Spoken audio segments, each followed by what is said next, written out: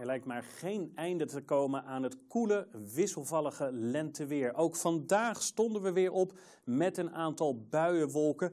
En als we op de radar kijken, dan zien we ook dat Nederland eh, vol lag met buien. Verspreid over het land kwamen ze voor. Er waren ook wel regio's waar het in de loop van de ochtend even wat droger werd. Maar ik heb toch slecht nieuws. Er komen nog geregeld nieuwe buien tot ontwikkeling. De buien van vandaag hebben te maken met een klein lage drukgebiedje. Trekt naar Duitsland.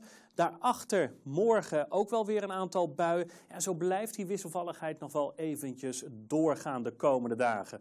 Voor vanmiddag de beste papieren in het westen van het land. Daar lijkt geleidelijk aan de zon vaker door te breken, terwijl landinwaarts nog regelmatig buien tot ontwikkeling komen. En er kunnen een paar flinke jongens tussen zitten met onweer en hagel en ook flinke windvlagen.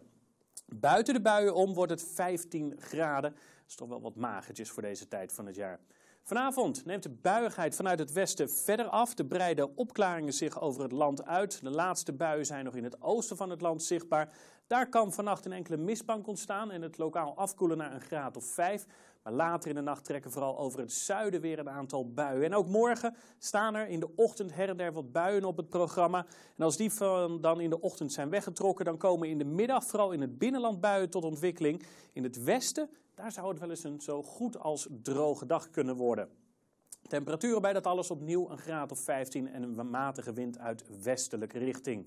Nou, voorlopig in grote lijnen komt er de komende dagen weinig verandering in het weerbeeld. Vooral woensdag zien we weer dat er flink wat buien ontstaan. Maar met een beetje geluk is donderdag op veel plaatsen een droge dag. De dagen daarna komt er een nieuw lage drukgebied onze kant op. Dat zorgt voor een toename van de wisselvalligheid. Fijne dag verder.